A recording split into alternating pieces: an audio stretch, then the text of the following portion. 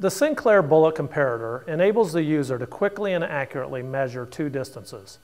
The length of a bullet from the bearing surface to the base, or the length of a loaded round from the bullet bearing surface to the base of the case. Hand loaders often measure and sort for consistency by bullet bearing surface length. This is the portion of the bullet which contacts the barrel rifling.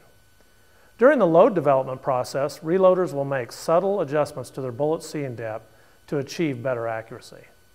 The Sinclair bullet comparator is used to measure these adjustments from the bullet's bearing surface instead of the bullet tip. Made in the United States, the Sinclair comparator body easily attaches to your caliper and is manufactured of machined aluminum. Sinclair comparator inserts are machined from stainless steel with a taper to accurately duplicate the chamber throat. Comparator inserts are available in 17 through 45 caliber and are sold separately. A separate bullet comparator is available for 50 caliber bullets.